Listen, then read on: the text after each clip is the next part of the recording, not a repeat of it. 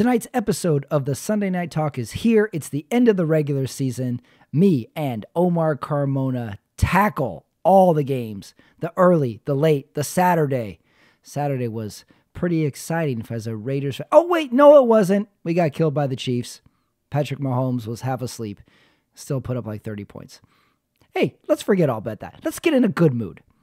Speaking of good moods, I want to thank everybody who came out to the stand up show this last Friday at the Muddy Paw. We had a great lineup, we had a great crowd. It was a unique venue as well, so I hope to do it again. Great laughs. I had a great time. More stand up coming up as well, so pay attention to the feed. Speaking of the feed, if you're new to the Running It Back channel on YouTube, give it a subscribe. All my videos are up there. Right now, the Sunday Night Talk is running. We're in the heart of the season. We are tackling playoffs.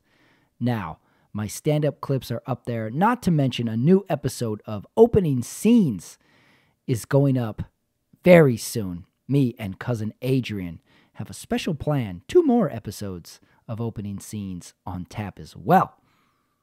But today on the show, it is the end of the regular season. Me and Omar hit the record button as soon as the Sunday night game wrapped up. Detroit at Green Bay. Detroit was the spoiler. I was impressed. Well, me and Omar talk about it. We talk about the games. We talk about his 49ers. We talk about my Raiders putting a bow on their tough season. Predictions, hot takes, awards. I got to say, a fun, fun curveball of a game this week, too. 90s edition. You'll see what I'm talking about. And then we wrap it all up with the Monday night questions, which are a little different because there's no Monday night, but there is something else on tap. Ah, you know what I'm talking about. So check it out because it's all here. It is week 18, the end of the regular season. I'm in a good mood. The Sunday Night Talk with Omar Carmona and me, Patrick Ramirez, starts right now.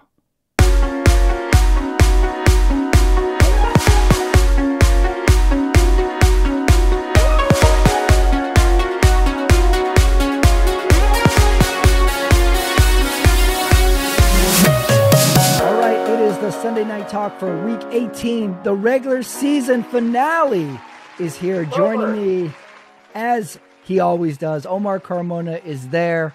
We are wrapping up, because the game isn't over yet. We are wrapping up Sunday Night Football. Detroit Lions are just about put the nail in the coffin on the Packers. There's a minute 45 left in the game. And Daniel, Dan, head coach Daniel Campbell's nose is officially um, frostbitten or some sort of shade of dark, dark red, and the Packers are looks like they're going to go home. They're going do home. Remember, do you remember that one year? I think it was in Green Bay where it was the coach for the Giants, Tom Coughlin, and his face during a playoff game was like red like your beer hat. Uh, I, you know, I thought he needed medical attention out there, but Green Bay, Green Bay will do that to you. Lambeau has a way of really claiming a lot of a lot of skin on coaches' faces. Yes, I have my beer helmet on today because it's the end of the regular season. It's the end of normal regular season football. So I thought I would go as a bit of a celebration, as a bit of a party, because now we're ready for the real party, which is playoffs. So I got my Bud Light and Coors Light to represent the NFC and the AFC as a special tribute. I can't even start to express you. Maybe it's because the Raiders are finally over and done with. How happy I am this season is over. I'm finally glad the regular season is over. Thank God. I get it. I got exhausted. I was glad they were done on Saturday. Wow, that sounds pretty mediocre, Patrick. Um, uh, I'm getting ready for the playoffs. You know what I mean? So it was a long haul. Like I said last week, this has been the most emotional season as a Raiders fan I think I've ever experienced. And if I were to give like I don't want to give my award, you know, who won the week. I want to burn it on this, but if you want to say who won the season, how about Raiders fans? They stuck with the team. That was a if horrible still, performance. If you're still, if you're still a Raiders fan after this season, then yeah, you you, you definitely won the season. Mm-hmm. Right. So, and and you could extend that to fans of all losing teams this season. That oh, thank God the season's over. Now we can just watch the playoffs in peace.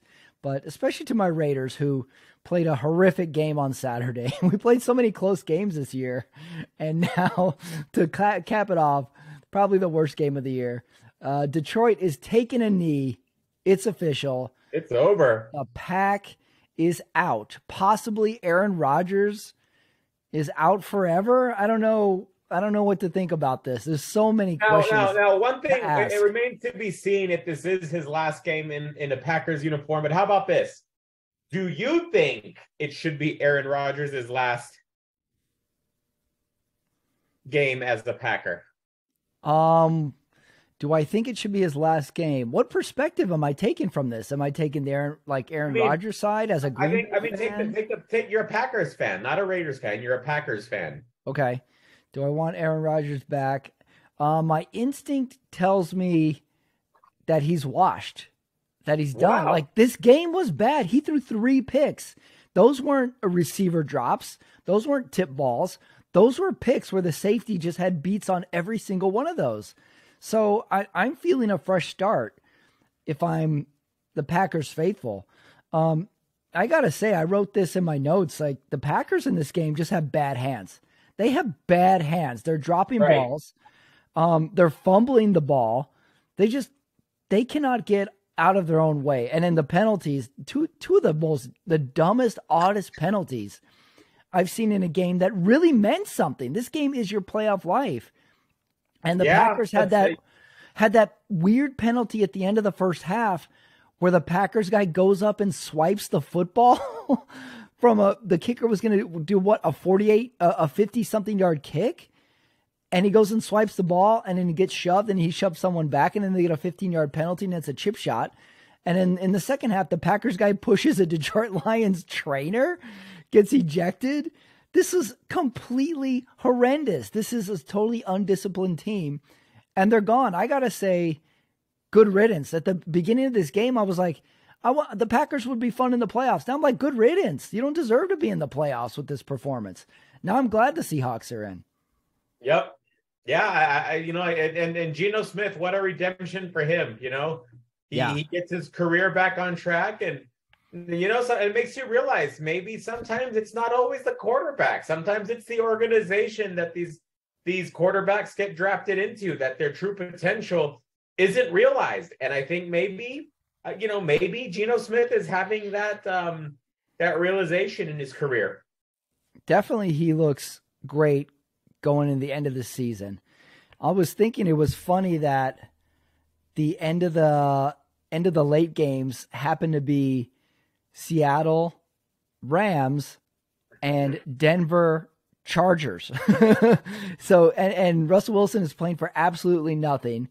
Geno Smith is playing for a playoff spot. What a I mean what a weird ironic matchup to be flipping channels on. there's a lot of RIPs going on here, Omar. I'm watching Aaron Rodgers walk off the field on TV on the NBC. He's got his arm around looks like one of Randall his Cobb. Randall Cobb, and it looks like they're going to be like, it looks like they're just like leaving forever. This is this is really brutal. This week week eighteen is really weird to watch now. I don't remember ever being like this.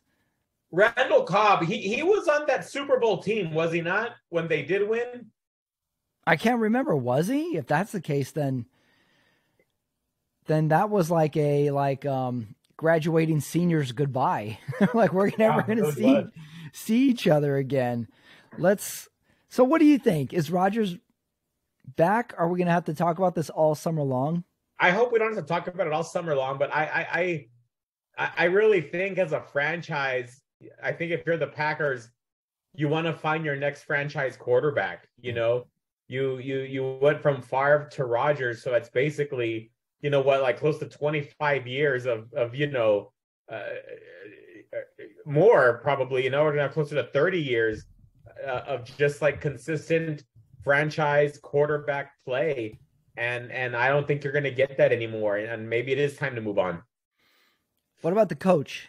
Do you feel the coach needs? No, I think I no, I think no. He's he's he's the he's the right coach. He's the right coach for the job. I was listening to an interview during the week of Jeff Van Gundy, the um, NBA analyst, former Knicks Sure. coach. He had so many funny things to say about media and how we judge uh, teams and players during the season. He said, you know, relating to the NBA, but it relates to any any league. We always say like, "Oh, it's a players' league. This is a players' league. The players have the most power. It's a players' league." And as soon as, as soon as something starts going bad with the team, we go, "What's wrong with the coaches?" Right. you know, we had all these funny analogies where when a player misses two jump shots, the announcer goes, He's got to stop settling for jump shots. I was like, Yeah, because you know what happened. You know, like we have these weird ways of judging players in the season. Rodgers, I think, who knows with coaching, with management, who knows what's going on in Rodgers' own head. He may be not wanting to ever come back to the Packers. I think it's time to make a clean break. Maybe Doesn't maybe look happy. to- maybe he just wants to spend the rest of his life, you know, on psychedelics in some, you know, desert somewhere, and Maybe, you know, all the, all the power to him. maybe he. So, do you think he walks? Will he ever play again? I think I think that's I think that is a legitimate thing, and I think with both with Brady and Rodgers, that's something to consider. Will they just walk and just say, you know what, enough's enough, we're moving on? I, I think I think even that that's got to be a question that's creeping up in Brady's head. You know who's coming out smelling like roses in this whole thing is Detroit. I wrote down in my notes, so like, I'm so bummed that Detroit didn't have anything to play for in this game other than spoiler. Like, Detroit is a good team. They're running the ball on third down and getting chunks of yards. Goff heated up. They've got that one Does- receiver who is does Goff- blazing fast. Does Goff come back? Ooh, that's a good one. That's a good one. I don't know. The end of the season was really good for Detroit. So I could see a move where he is traded. I could see a move when he come where he comes back. I really I could Does I, Derek- I'm 50-50. Does Derek Carr find himself in a franchise like Detroit? That's Uh, possible too cuz that is a name that's going to be shopped around heavily. That's got to be the lead off-season story. Going in, I would I would guess. What other what else is there because Carr is a hot commodity. It seems like the Raiders are moving on. We'll know right after the Super Bowl because that's when his contract expires. But I think they're shopping him. I think he goes. yeah, it's possible. Uh, Detroit for a second. I'm bummed that they're not going to be in the playoffs. Dan Campbell turned it around. Jared Goff, they're they've got their receiver that is blazing, blazing fast on Yep. the team. They really dug deep and they win on the road, being down. I'm a I'm a I'm big bummed. Detroit fan. I'm a big Detroit fan. In my way too early picks for next year, uh, look out for the NFC North champions, the 2023 Detroit Lions. Wow, wow, way too early for hot takes. I was pumped in this game when, like in the first quarter, when Green Bay goes for it on fourth and one and Detroit stopped them. I was like cheering like it was a playoff game. I was excited for Detroit, and it it was really it's really cool to watch them. Like they were really into the game. So kudos to them for playing for nothing than to knock out a division rival. Look at this, Jar- Jared Goff, nine straight games without an interception. I mean, that's not that's not easy. Yeah. Yeah, we really buried Detroit early. It goes to speak or it goes to to talk about the notion that this season is so long now that you can be bad in the beginning and turn it around. We should have known something was up though when Mason Crosby hits the crossbar on that long field goal. Yeah, Anytime we have a ricochet on something, we got to know something is is not right. Uh, here's one question going moving on from the game. Detroit is young. They have that Aidan Hutchinson guy oh yeah, on the defensive side who has had apparently three interceptions this year. yeah. I can't figure out that guy's eye black. He does this weird Braveheart thing where he has black on just a side of his face. Right, I Are like there- it. Are there no rules for eye black anymore? Can No, you- no, not anymore. It's it's whatever whatever you feel like.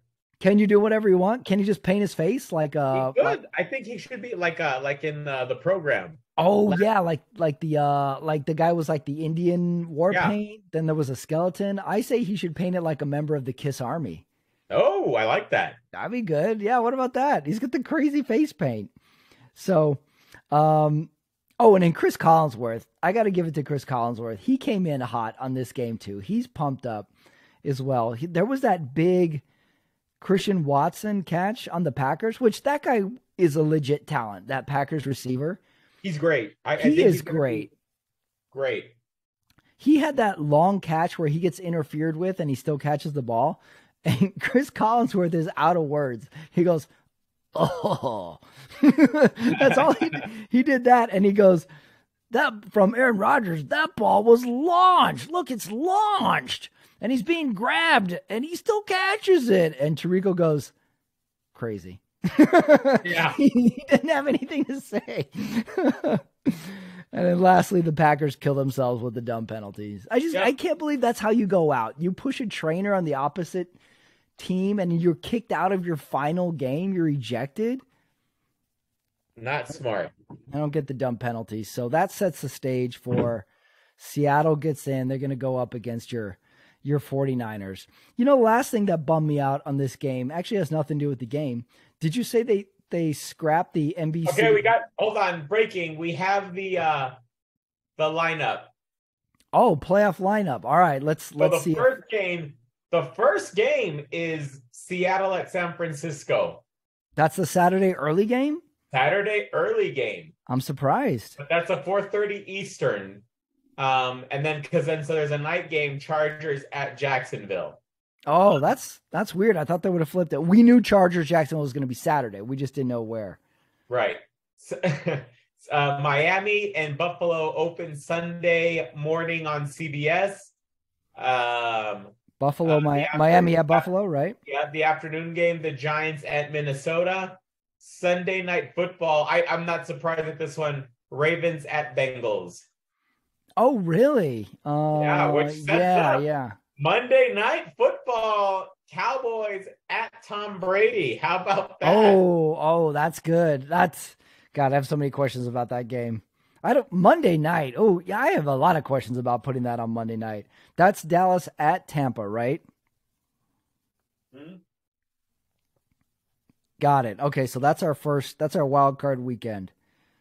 trying to think if I would move that lineup. I would move Jacksonville to the early game and Sunday night, I like that Miami Buffalo as a Sunday night. Although we don't know what's going on with QBs at at Miami. You know who caught a break here is Minnesota. Cuz they can play an afternoon game. Kirk Cousins at night is not good. So now right. he's in the afternoon. That is that is a bit of a break. All right, well let's talk games since we're done with the Sunday night game. Let's talk that right. let's go the Saturday Saturday games. We had two this week we had Kansas City at Las Vegas, the end of the Vegas season. I swear to God, Mahomes was half asleep through this game. and and they're still throwing touchdowns. They're still up 10 pretty much the whole game. You know it's bad when the Chiefs are doing silly plays to like practice. They're doing the silly huddle and they're still like, you know, achieving first downs and did stuff. You, how, how much disrespect did you feel there? Right. You if you're the Raiders, you'd be like, guys, they're messing around on us. Like, don't we feel bad about this? And the Crosby gets like two penalties in a row, one roughing, one one offsides, just total mess. And I'm listening to the game on the radio, and it's the Raiders call, and it's to the point where even on a penalty, the announcer just starts laughing. And there's like, we got a we got a roughing the passer on on Crosby, and the guy's like, oh, we got a encroachment on the defense. Oh, like everybody has given up on this game. And in uh, Stidham, who played okay, he might have won the end of the season for the Raiders because everybody loves Stidham now. Yeah, true. And and then we finally saw the the Andy Reid poncho was out. He's wearing yeah. this huge Chiefs poncho, so they're ready. And in the night game, Tennessee at Jacksonville, I was I texted you. I don't think I've ever been excited for Tennessee at Jacksonville this much in my life. Never. that, that, you know, and that game always seems to be that boring week eight Thursday night game in October. Yeah. You know this I mean? is a Thursday night game. You're right. Yeah. Yeah. So we had that game, which was a really good game. We had two bad offenses. Sometimes you hear like, oh, it's a defensive struggle. This was an offensive struggle. Neither of the teams could do anything. Trevor Lawrence, as much as I like him, was not great. He missed open receivers. He wasn't gelling, and it was a big turnover by the t- Jacksonville uh, defense that won this game. And I think Jacksonville's my new favorite team. How can you not root for Jacksonville? They're young. They turned it around from last year. Trevor Lawrence, second season. He went through the Urban Meyer mess last year. And now he's like, uh, now they're in the playoffs. They're playing with house money. For sure. I can't wait for that. Um, Jacksonville. There's something fun about just Jacksonville being in the playoffs too. I like it. I love it. I I, I like that during like a scoring drive, their owner was in his owner's box asleep. I thought that was oh. Awesome. Oh, I like that. That's a good omen because you know we always get nervous when the owners go down to the field. Right. But if you fall asleep in your I owner's mean, you box, you reverse. cannot say you cannot the, the coach cannot say the owner puts too much pressure on me. He was asleep in the owner's box during a must-win game. wow. Talk about a rich guy move. Falling asleep during your team's game. I don't know if you can go more rich guy than that. Sure, you got private jets, limos, entourages. Hey, I fell asleep during my own team's game. that's a, that's an owner move. That's a baller move. That was the Saturday games. How were you on Saturday? Did you even watch these games? Because I, I still don't get Saturday football. I did. I did. And I enjoyed them. Um, you know, obviously the, the, the the Chiefs. There was a point where the Chiefs Raiders was not fun to watch anymore, but it was not. But you know, you know the thing about going back to the Raiders real quick, a lot of question marks. I you know I don't even know where you begin. You know, it's like you, you got to up the defense, but now it looks like you're going to find a quarterback.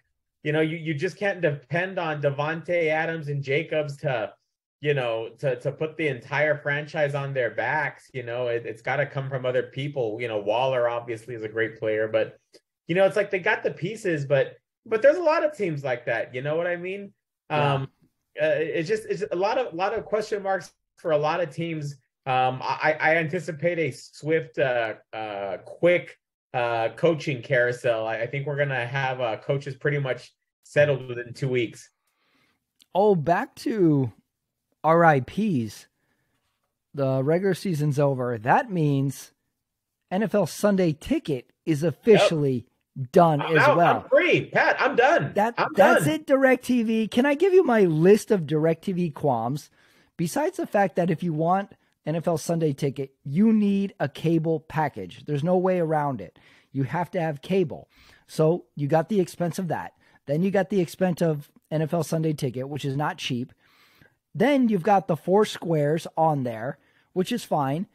There is a delay between the streaming game and the game that is like on like an antenna. Right. And it is not eight seconds, it's like 45 seconds. Last week, I'm watching the Raider game and my brother is texting me like, great ball down the sideline. I'm like, what are you talking about? We're in a commercial. Right. And I'm like, and it takes me a while to realize, oh, he's ahead of me. And then I have to just turn the phone over so I don't see it. And the text is still popping up on my computer screen and I'm covering it with my hand like this so I won't look at it. you know? Right. I'm like, how will we not fix the delay? Like, this is ridiculous. So I'm all on board. So long, DirecTV. You fucked yourselves. I don't care. Yeah, I'm calling. I'm calling tomorrow. Come pick up your shit. I'm done. We're gonna have it's gonna be on YouTube TV. The streaming service is gonna be better. We're gonna have multiple feeds. We might have uh secondary announcers to choose from. Right. We, we could choose the broadcast we want. This is gonna be this is gonna be the best. So long, direct RIP. Fuck direct you, TV. DirecTV.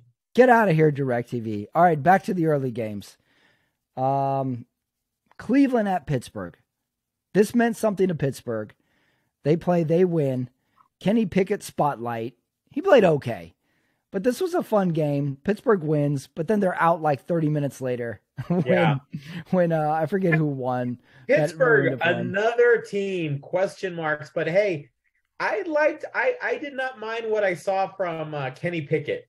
Uh, and with that receiver George Pickens that just knows how to make unbelievable catches. He's got that like that Victor Cruz type uh, uh, uh, coming up. You know, Victor Cruz just like made a living when he was with the Giants, just big, huge home run plays. Pickens is kind of like that, and I think that next next year he's going to be a player to watch.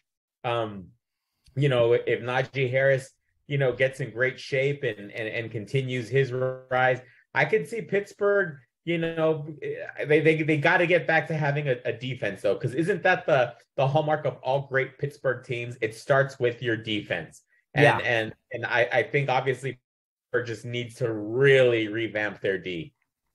Yeah, pick Kenny Pickett starting for Pittsburgh next year is a good question. You know what? Also, Week 18 serves as as preseason week 0.5. you know, this is this is showcasing talent for next year. Like, are you going to be on this team next year? And also, I'm sure players are playing for some contract bonuses. In week 18, can they get to a thousand yards? Can they get their hundredth catch? Whatever for bonuses. Right. So week 18 has all these interesting storylines that really doesn't revolve around necessarily winning a game sometimes. So Pittsburgh wins, but they're out. Then we go to Baltimore at Cincinnati. Cincinnati's playing for the second seed. They win convincingly. Cincinnati looking very scary in the playoffs. Very scary, Patrick. Very scary. very scary. And then we have a couple of, I don't want to say non watchable, but completely avoidable. Tampa Bay at Atlanta. Tampa Bay loses, and they're still in the playoffs. so I don't know what was going on in that game. Uh, of note, Tom Brady's first losing season ever. Is that right? And he's in the playoffs. What was that one year they went like 12 and 4 and missed the playoffs? The year that Tom Brady got hurt, they went 11 and 5 and missed the playoffs. Was that it? Yeah. yeah. Um, okay, which one was li- was less watchable? Tampa Bay, Atlanta, Houston, Indianapolis, or Minnesota, Chicago? because I didn't watch a minute of any of those games. I actually watched a little bit of Houston, Indianapolis. I watched, and that was interesting. We'll get, we'll get to that. How did you feel about Texans going for the win when they had a chance to get the top pick? And it, th- was that what caused? I mean, if you're the owner, you're like, dude, I'm already gonna fire this coach, and he's going for a win when I got a shot at the top pick. Now, looking at it, I don't think it hurts because Texans are gonna need to draft a quarterback, and Chicago, I think you're pretty confident they're not gonna draft a quarterback with uh, Justin Fields. So it it, Right. it seems like okay, sure they didn't get the number one pick, but I think they're still going to be able to get their first, you know, their first bite at a quarterback. Yeah, Houston blows the chance to get the number one pick, and which otherwise would be a really fun game to watch because it was super close. This really Right. should have been the, as far as a broadcast goes, this could have been the who cares broadcast. Like they now should like say whatever you want, be funny, say outrageous shit, bring in a guest broadcaster too, bring somebody, bring in a former player. We could have done so much more with this, and it was it was just regular. Yeah. but- Also, the you know the Saints, uh, uh, uh, Saints Panthers was a bad game. You know, oh, that's really- right. I didn't watch a minute really, of that I didn't really watch much of that, but uh, Andy Dalton, Jameis Winston, are they quarterbacks on the New Orleans roster next year? We'll see. Yep. Questions there. And then two important games. New England at Buffalo. New England's playing for a playoff spot. They were feisty in this game, but Buffalo pulled through. I think they returned two kickoffs for touchdowns.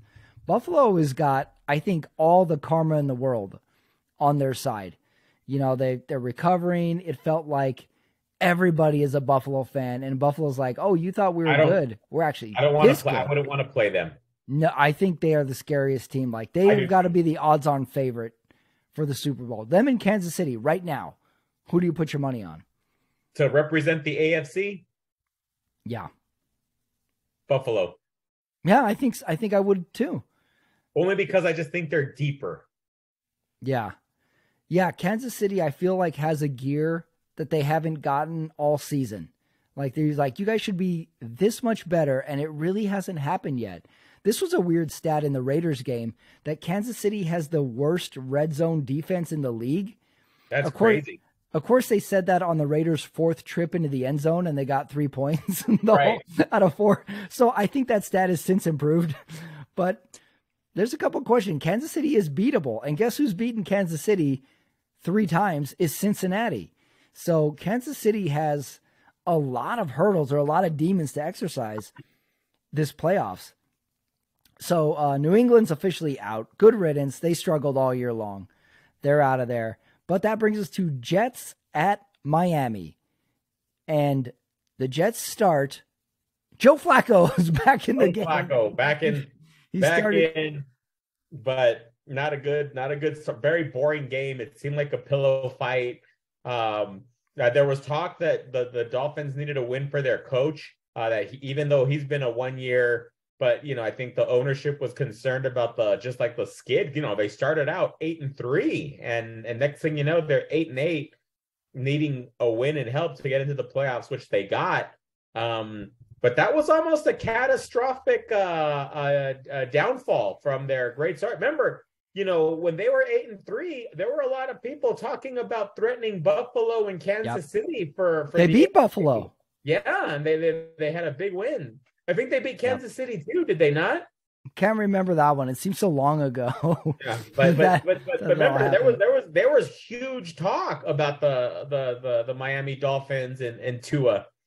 Right. Yeah, Tua big question mark. Like, what's going to happen next week? Is Tua playing? Do we? I mean, we don't know yet. And the other thing I liked is Dan Marino's on the sideline of the Miami yeah. game in a in a blue blazer. You know, I, I, was thinking a lot of quarterbacks make. I saw I saw Marino. I'm seeing Elway, and he's apparently still in the chat with replacing. You know, uh, possibly trying to convince Sean Payton to come to Denver.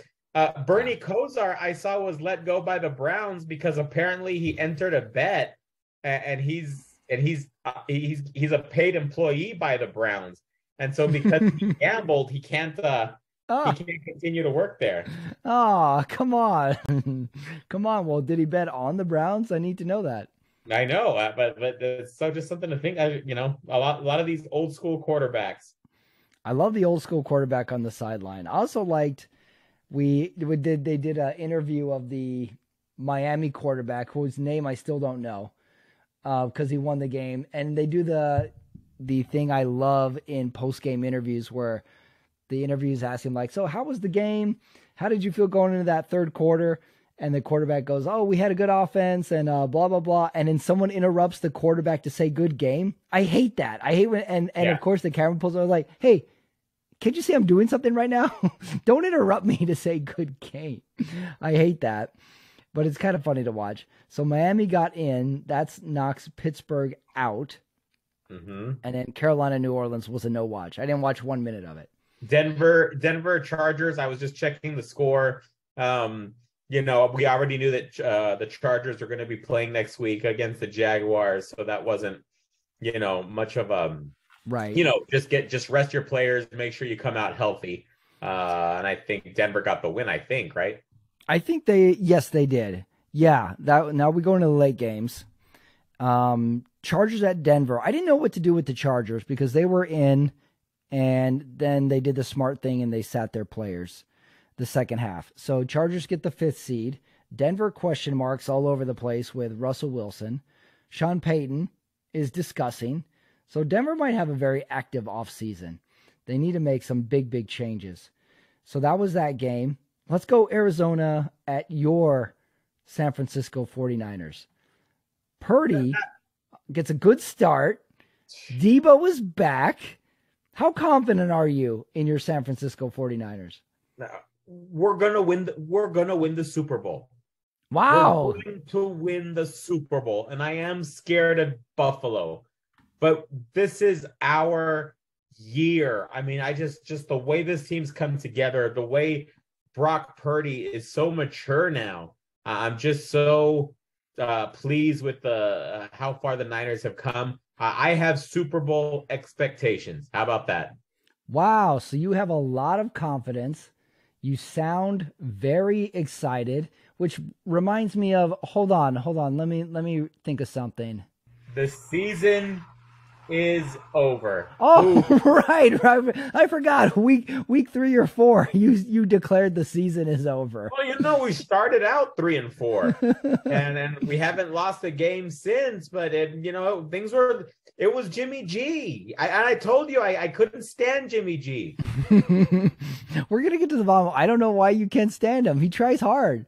I think I think you just needed somebody fresh in there and then you were all in. You know, I'm happy for you. I really am. I'm really happy that you got a team that you can cheer for, and they're probably to win. They're probably to win a playoff game. They're probably to be pretty, pretty good, pretty good threat in the play. Who knows how far they could go? This could be their year. Right. Wow, the season is over. uh, New York at Philadelphia. No Uh, Danny, Giants also no Danny Dimes. no Danny Dimes. Giants smartly did not play their starters, so um, you know they're they're going to be healthy for the playoffs, and and it's gonna they're going to need their their best game because that that Minnesota team is tough. Yeah, you think so? You think Minnesota's going to be? I think I mean I, I think they're tough. I'm not saying they're the they're the favorite, but you know the Giants are going to need to have a good game. You know they're not they they can't afford to have Danny Dimes. You know they they can't have a a, a two interception game from him. You know and expect to win on Cannot. the road. Yeah, Right. they absolutely cannot. He needs to be on his game. He cannot be the reason they lose. So Philadelphia wins the division. That brings us to Dallas at Washington. I was a little unclear if Dallas had won, would they had won the division? If if if the if the Eagles had lost, Eagles lost out. So if they both won, Philly would have won the division. Yeah. So it didn't really okay. So it didn't it wasn't that that big a deal that Philly won. Uh, Dallas probably the biggest question mark of the playoff teams. Just looking at this game because yeah, it's a question mark because some we we've seen their their their potential when when you blow out Minnesota like the way they did when Minnesota was riding an impressive win streak, they beat the Bills too, and and you know uh, uh, Dallas blew them out of the water. yeah, and it was bad from the start. So their Dallas is dropping punts. Washington didn't even start Heinicke. they didn't start Wentz. No Heinicke. They have some other guy. Dallas is like you blink your eyes. Dallas was down 13-0 in no time, and Washington is is missing field goals, and they're still winning. Bre- Prescott did not look sharp. He doesn't run. He doesn't scramble a lot anymore. I don't know if you can why chalk this- this, this- up to just be like Dallas, this going." Dallas Buccaneers um uh Buccaneers game is so fascinating to me. So we'll see how this goes. It could either be the best game of the season or the worst game of the season. That was also the first mm, Sunday night game this year. Was that this year or, or Yeah, this yeah, year, yeah, the it was first this Sunday year. night game. That's right, and they lost. Dallas lost. Yeah. Yeah, I'm ready for this game to be really, really weird. Just weird, weird, weird game. That was oh, that's and it's the early game too. Wait, wait, Yep. where is where is Dallas? No, it's the it's the it's Monday, Monday, night. night. It's Monday night. Oh, oh my God, this is gonna be a weird game. You watch and see. This is gonna be like a five turnover special teams touchdown type of game. Um, and in last game of the afternoon, LA Rams at Seattle. Seattle playing for their playoff spot. Rams were feisty too. I got to give it to these teams that were out and had no chance of playoffs that really showed up and played a good game. Big news, big news from this game. Uh Sean McVay may this may be his last game as he may be taking some time off of coaching.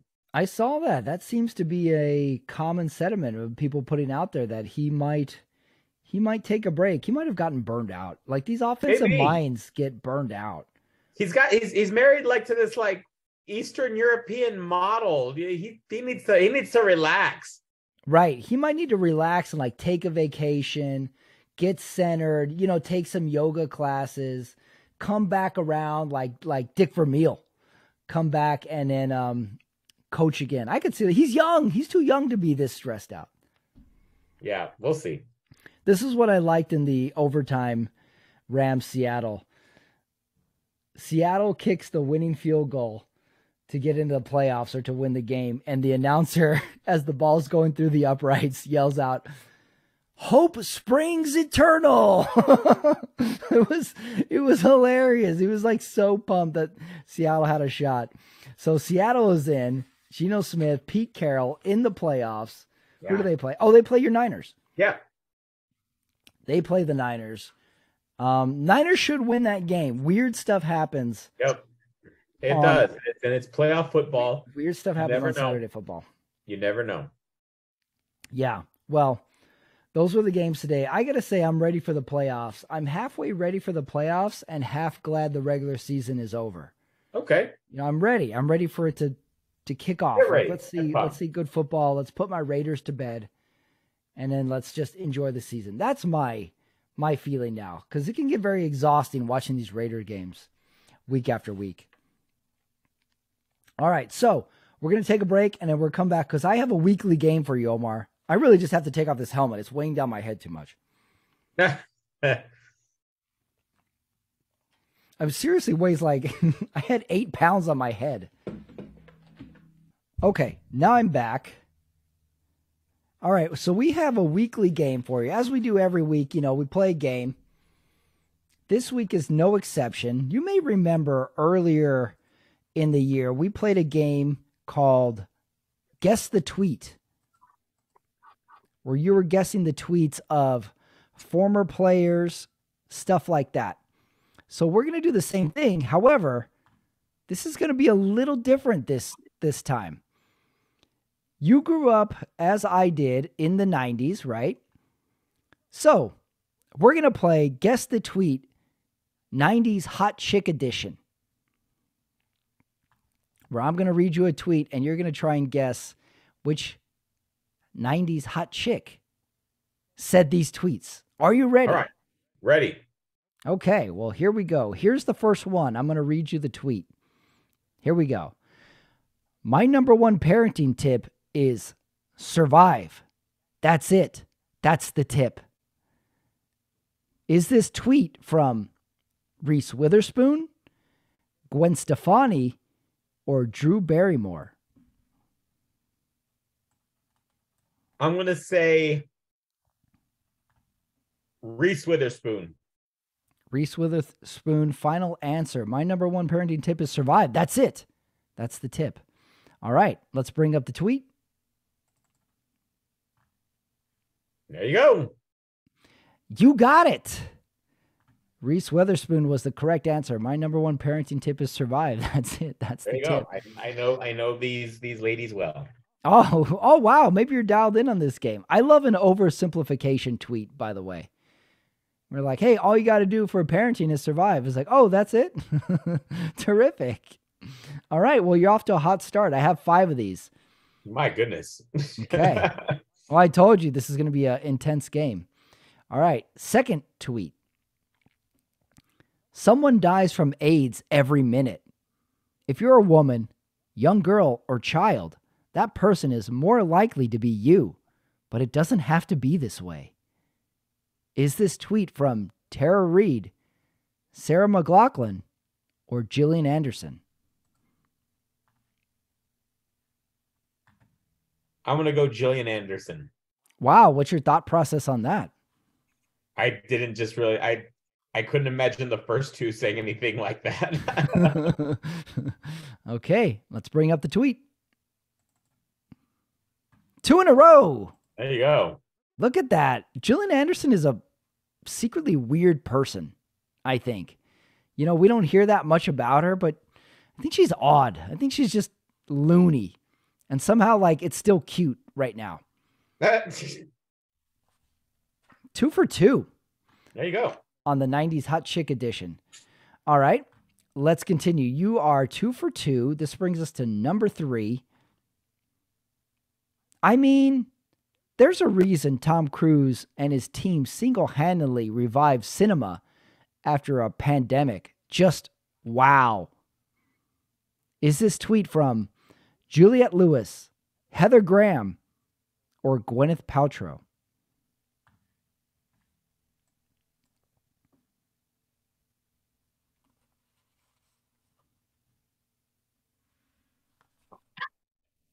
I want to guess Juliette Lewis. Okay. But I was it was between that or Paltrow, but I probably got a wrong period. But yeah, Juliette Lewis. There you go. Three for three, Omar. Wow.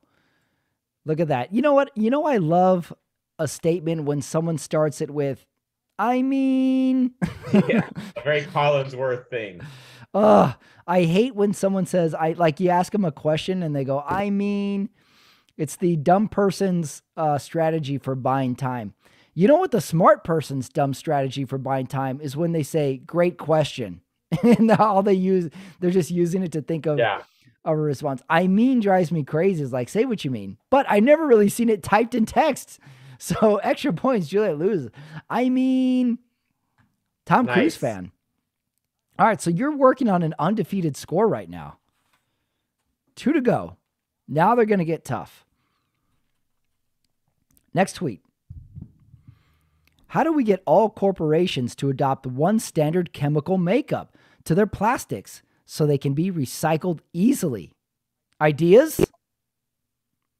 Is this Alicia Silverstone, Daisy Fuentes, or Tia Carrere? Well, this is a total guess. I want to guess Daisy Fuentes. Oh, is that right? Were you a uh, were you a Daisy Fuentes fan in the nineties? I was growing up. Yes, I was. Mm-hmm. All right, here we go. Daisy Fuentes is your pick. Oh, Tia Carrere. It is Tia Carrere. That was a One of my favorites. Wayne's That World. was a- Wayne's, Wayne's World. World. Yeah. You know, with Wayne's World, I never understood half those jokes until I was much older. You know, I didn't like I I, didn't love get that. That was even as a kid. I mean, maybe I didn't even really understand the jokes, but just the way they were delivered, I just remember laughing uncontrollably at that movie with my mom. I remember remember the joke where Wayne is like, um, Led Zeppelin didn't write songs everybody liked. They left that to the Bee Gees.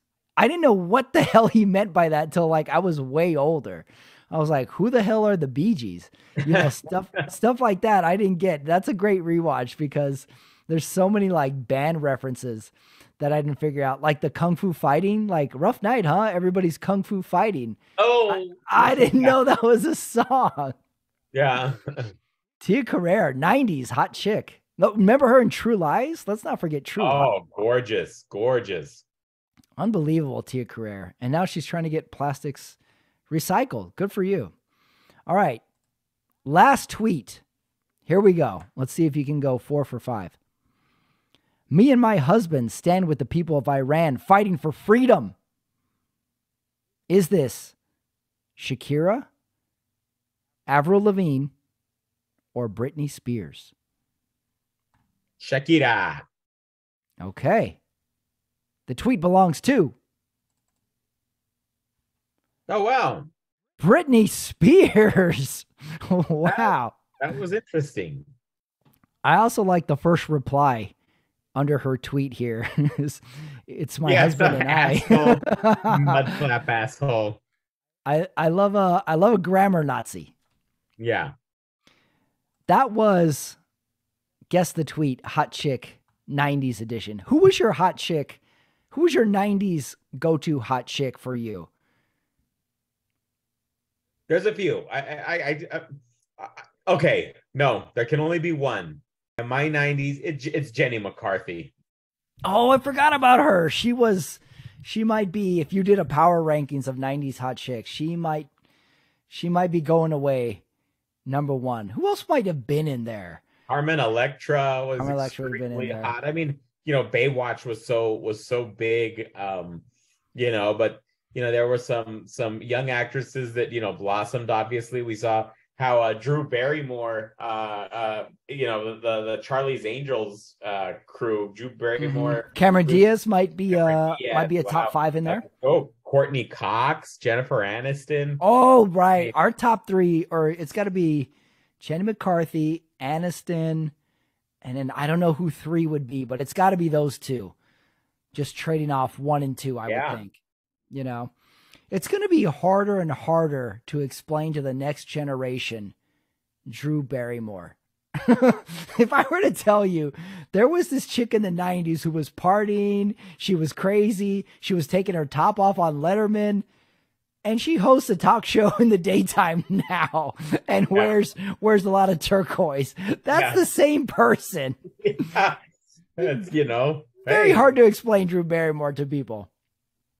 Very difficult. You know who mine was? I had two. I had a wholesome 90s crush and I had a wild one.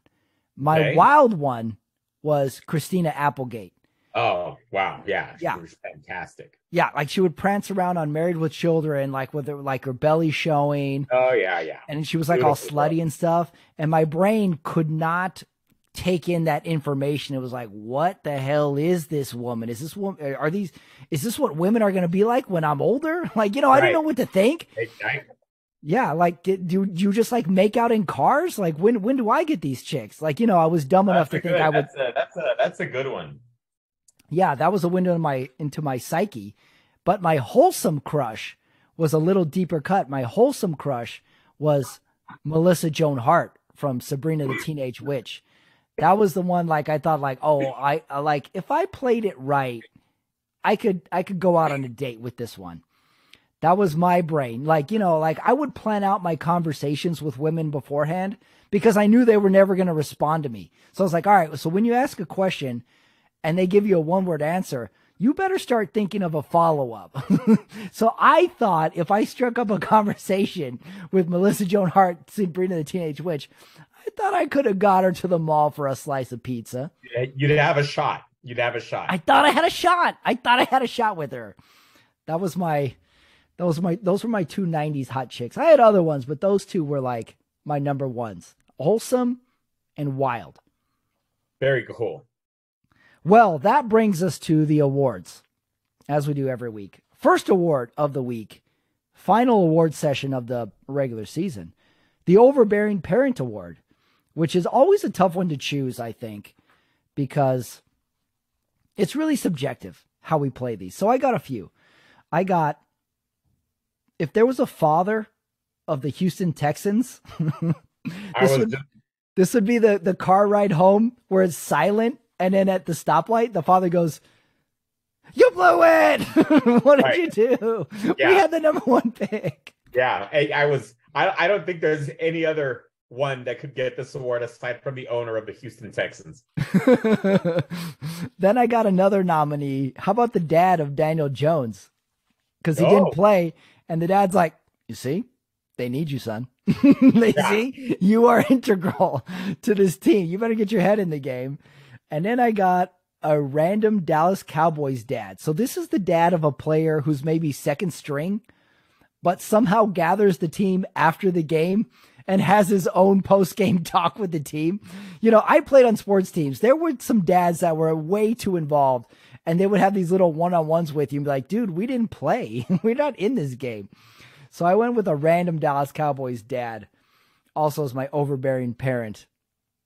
So who do you got? Who was your overbearing Oh, parent? it's, it's it's the Texans owner. Come on. I mean, Texas I- owner. Okay. yeah, the the the way his look on his face that that was just you know, wow. And it made Yeah. that. Who knows if that was what actually cost Lovie Smith his job? But Because you know, if you're an owner or if you're a GM, your season starts now. You're like, Right. hey, this is our time to shine now. Now we can right, now we can finally make some moves. So if you're like, we got the first pick, and just that whole whole game, you just got to be saying like, what are you guys doing? Just run the ball.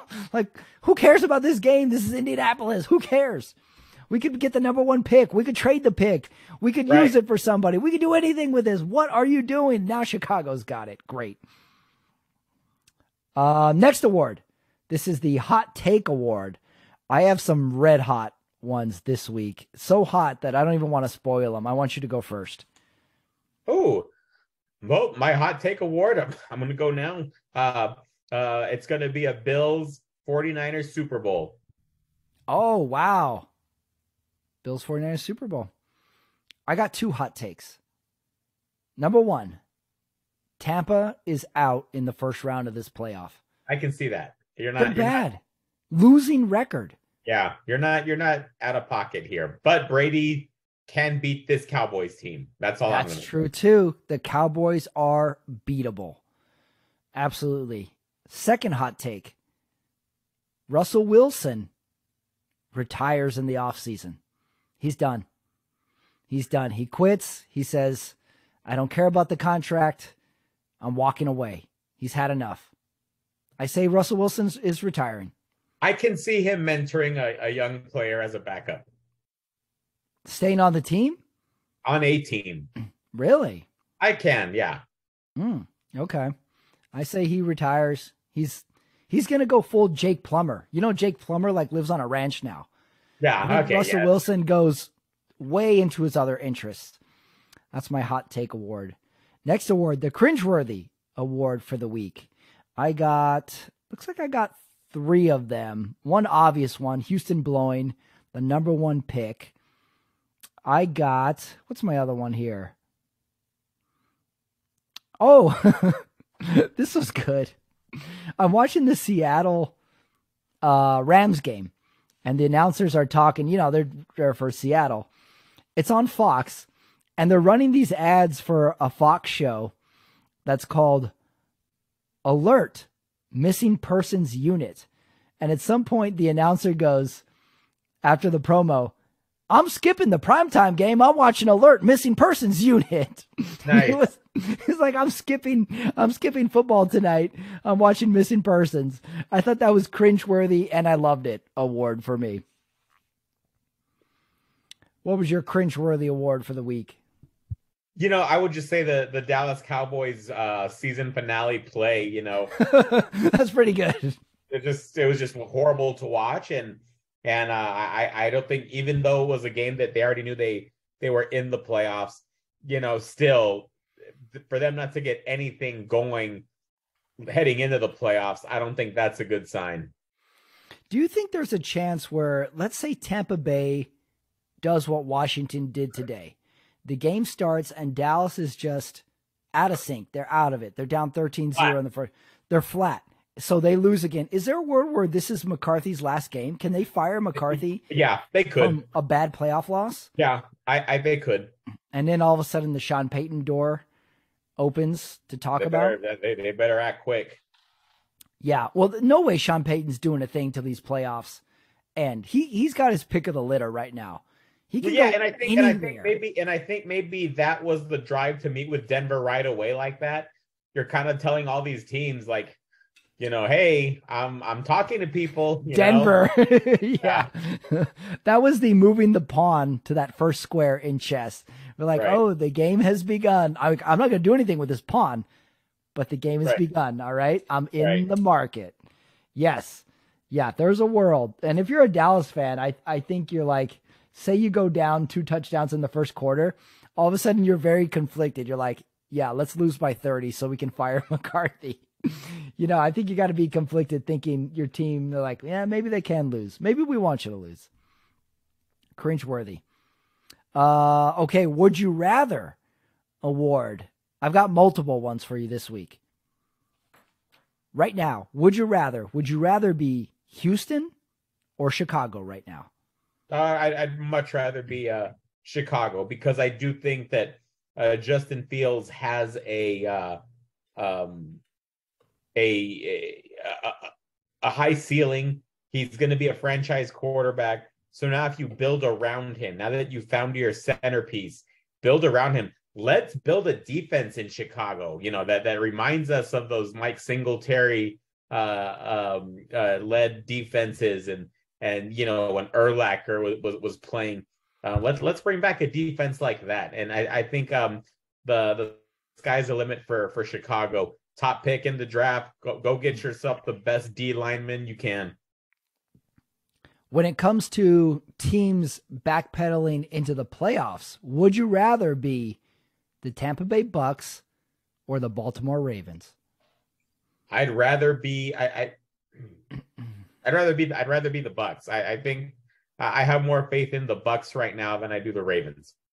What's up with the Ravens the last month and a half. Is Lamar but, even going to play next week? Yeah, he's. He, I think he he will play, but they just they just they it's a team that just never really even when they won they didn't seem to impress this year, right? Yeah, they really did, and, Lamar is doing this weird holdout during the middle of the season thing where I think he right. could play. He's his own agent, and then this was brought up to me earlier. Lamar has no endorsement deals. Right. His I, I, like what is going on with Lamar? I wonder in five years down the road, when say Lamar plays one more season, he's not as good. He doesn't get a good. I, I wonder if we're gonna have the Allen Iverson comparison with Lamar. Be like, you know, that guy was awesome. He never really got on the right team. He never really got in the right offense. He never really committed himself to a team. I wonder if we're gonna have that conversation. And then like, if he goes on a good playoff run then we're gonna be like, okay, Lamar's back. Like he has been so up and down this year. Yeah, I don't, and I I'm not threatened by the Ravens at all. No, not at all. So I'm with you. I'd rather be the Bucks. It just seems like there are less turmoil with the Bucks. Uh, last, would you rather? I know you don't drink anymore, but I think you still have thoughts. Bud Light or Coors Light? I'm a Coors Light. I was a I was a big Coors Light guy. Um, uh, before yeah, uh, when I was drinking. So love love me a cold Coors Light. All right, you go Coors Light. I'm in agreement. Next award.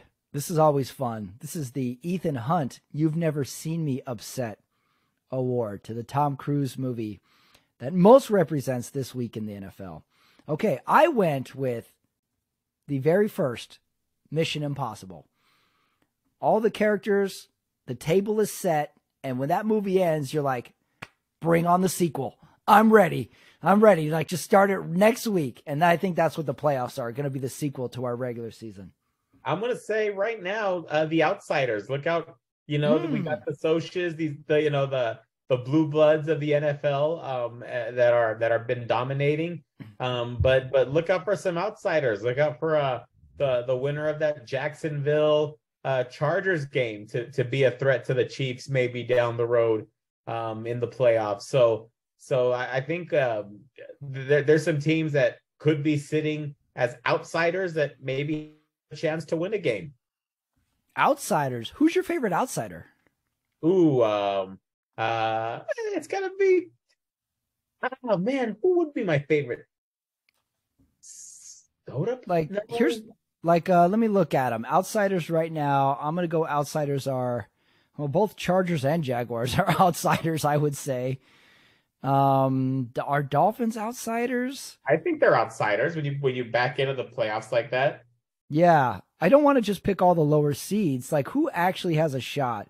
Are the Giants outsiders?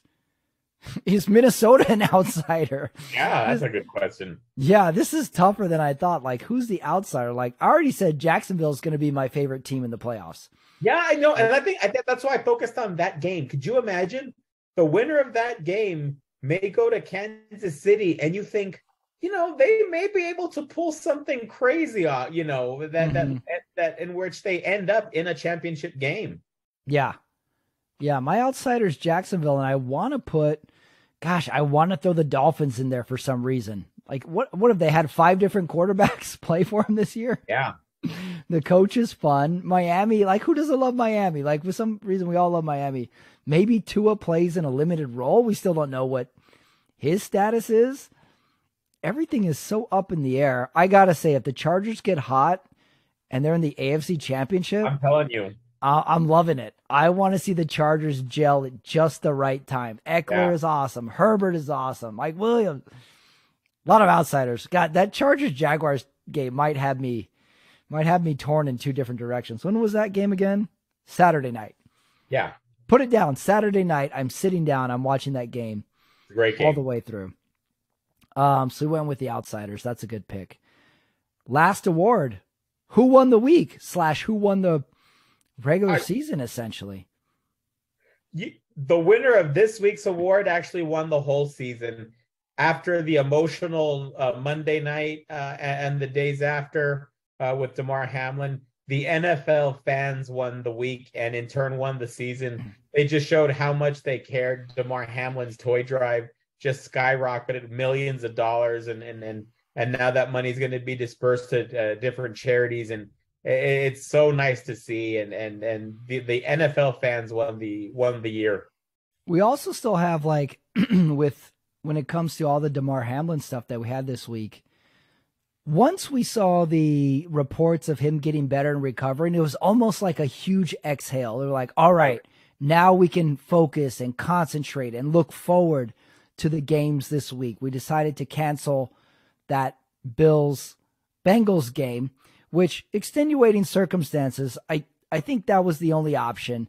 And like, okay, we'll do a neutral site. We'll base the seating off of playoff uh, winning percentage. Is that fair? Maybe. Is it not fair? Maybe. But these are extenuating circumstances. And also, no one's going to be like, hey, we want to play. no one's going to be that guy who says right. like they should have played. And then we had the the online hate where like the NFL where people were hating on the NFL be like they the coaches had to stop the game. NFL wanted. I can't see an NFL executive saying like you guys got to get out there and play. I can't see that happening. I'm sure it was considered, but I can't see that happening.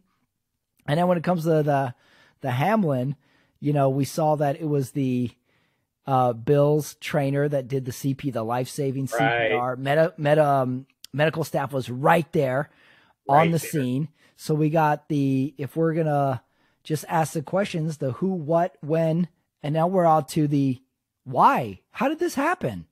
Right. Athlete, young man. I don't want to go all conspiracy pat, but um, shouldn't this would be a, a question like how did this happen to a young healthy person? When we, you know, it could happen to anybody. Um, but is that the, is that the question? If if that's the question, then every single player on the NFL is like, holy shit, am I gonna? Is I gonna? Am I next? But I think I think that's why it was bigger. That's why we we talk about how things are bigger than football, and I think it can make anybody, you know, question their mortality. You know, uh, uh, to die doing what you love, what you what you were doing since you were a kid. That's that's got to be, you know, it's poetic it, it, it's romantic it's tragic you know all, all in one so um i think i think that it, it, was so shocking um and so emotional mm. um definitely and i thought the nfl did a great job on on on you know how they uh delivered the message on on obviously his safety his health um but just you know showing uh, compassion and sympathy. That was that was inspiring as well. Yeah, it really it really had that moment for like 48 hours, 72 hours where we were we were really concerned for like what the hell happened? Like what yeah. is going on out there? And then go touch and go. Yeah, yeah, and then just the question of like we just need uh an explanation of the why. Is this uh they did discover a heart defect that he had. Oh, this is actually this runs in his family. Something that would put us at ease to know that oh this is a reason that this could have happened this is like because if they were saying like oh it's a random event that would scare the hell out of everybody from youth sports all the way up so um i'm still very concerned like how does this happen to a young healthy adult man this is very odd um we need medical professionals for that so conspiracy pat wants to know what the why to it, and I'm sure that's being looked into. But scary stuff, and I'm I'm glad he's getting healthy because we are like, okay, now we can enjoy the season again. This is okay. So very tricky early part of the week for NFL football. I'm glad it's better though. And now the bull the Bills have all the momentum in the world. You know what yeah. they have? You know a team gets extra momentum when the team has a midseason tragedy. You know, like when there's like a college and you know, like they have an assistant coach um, goes in the hospital or something. They're like, we got to win for such and such, you know? And yeah. now they have a purpose. This is now the Bills have extra, extra jet fuel in yeah, their tank sure. because of this. There's going to be the, the uh, number threes are going to be everywhere. The number threes on the, the jersey. Team of, team of, destiny, you know? It's team of destiny. It's, it's, it's yes. that feel. They're going to meet your 49ers in the Super Bowl. Destiny against Purdy. Chalk it up. Go. You know what kind of bothered me that I always think is funny yet stupid? It happens in the NCAA the most. Like, you know, they have the bench of basketball players, and at the very end of the bench is a priest. yeah. You know, every once in a while a team has a priest on their bench. Yeah, yeah carrying carrying a crucifix and a Bible. right. Right. It always bothered me in some weird way. like, oh, we have a priest on our team. All right. Tangent alert. That brings us to the Monday night questions for week 18. Uh, but wait a second, Omar. There is no we don't have Monday, Monday night, night because we have done all the Monday nights. So that changes it to the wild card weekend playoff questions. You may remember the old ESPN Chris Berman primetime music. So, for you, here are your playoff questions. Are you ready? Ready. Bills or Dolphins at Bills first up. What former Bills or Dolphins player do you want to see on the sideline of these games? I want to see uh, Jim Kelly and Dan Marino staring uh, across oh.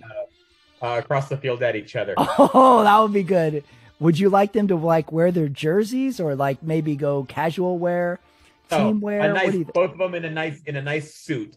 Uh, Oh. a nice a nice suit. Business. This is business. Oh, Ravens at Bengals. Will Lamar play? And what do you expect out of him? Lamar will play, but uh, uh, Joe Burr way too good. Uh, his Bengals are, are are peaking at the right time. I like the I like the Bengals in a convincing win. Did you see that inter- uh, press conference Joe Burrow did? And he's wearing the biggest white turtleneck sweater.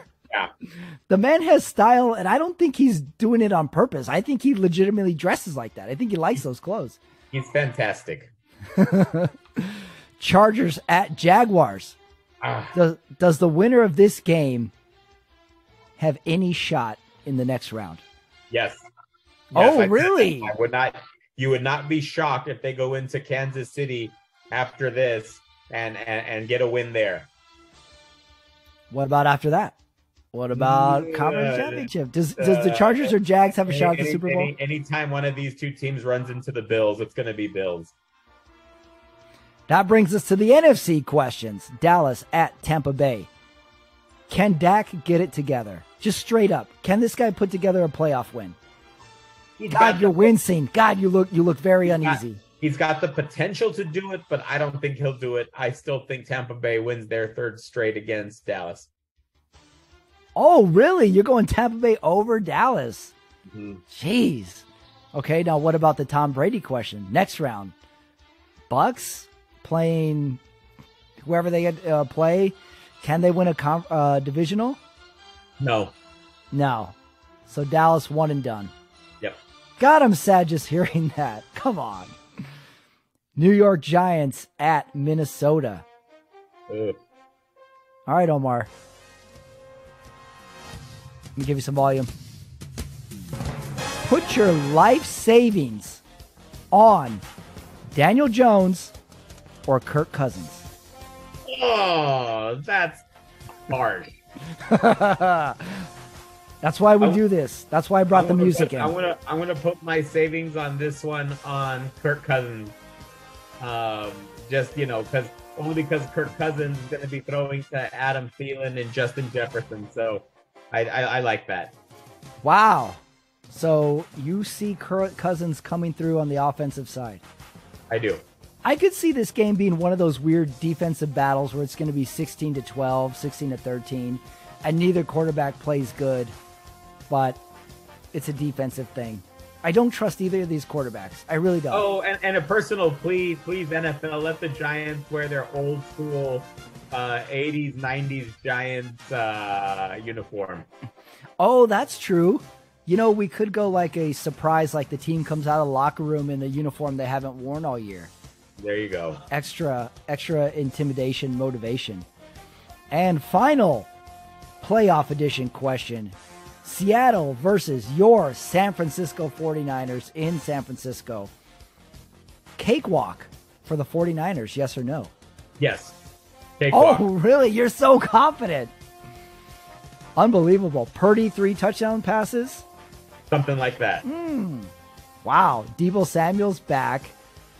McCaffrey. The, the, Seattle just doesn't have it uh, with this team. wow. You got to be feeling pretty good about yourself. I am. Well, that was the playoff edition. Saturday, Sunday, Monday night playoff games this week. For Omar Carmona, for me, Patrick Ramirez, that was the Sunday night talk for the end of the regular season. Omar Carmona, see you in the playoffs. That is it. That is the show. That is the regular season. Oh my God. Playoffs. I'm pumped. I'm excited. The season is on fire. I put my Raiders to bed. Now I can go to the actual party. Sounds mean saying that. But I love football. Don't forget if you're new to the Running It Back channel, give it a subscribe. It helps. It really helps, people. The channel grows. All my stuff is on there too. My stand up comedy clips, my other shows, which is opening scenes. The Sunday Night Talk going right now. It's all on there, not to mention my Running It Back interviews too. So give it a subscribe. I want to thank Omar for joining me this week. I want to thank everybody for listening. And playoffs. Is your team in? Is your team out? How pumped are you? Who's your sleeper pick? Who's your sentimental favorite? Bud Light or Coors Light? These are the questions we need to answer. Starting Saturday, Sunday, and Monday. So many games. Thank you for listening, everybody. I will see you next week.